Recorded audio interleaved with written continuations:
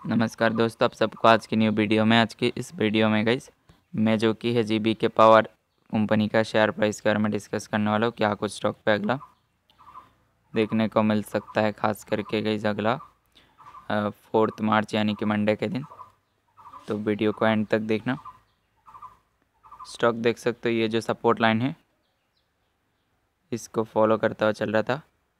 ये डाउन गया, फिर ऊपर, फिर डाउन फिर यहाँ से ऊपर जा रहा है, देख सकते हो। तो इसका अगर अभी सबसे पहला काफ़ी स्ट्रॉन्ग सपोर्ट को देखे जो कि इलेवन पॉइंट सिक्सटी फाइव पे है।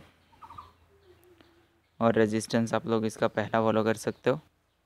ट्वेल्व पॉइंट नाइन्टी फाइव इसका पहला रेजिस्टेंस फॉलो कर सकते हो। और अगला देखे जो कि काफ़ी ऊपर है फोर्टीन पॉइंट ज़ीरो फाइव पे है। यानी कि अगर यहाँ से देखा जाए तो और भी स्टॉक ऊपर जा सकते हैं तकरीबन। इस लेवल का तर इस लेवल तक का टारगेट जो कि स्टॉक इजीली दिखाएगा।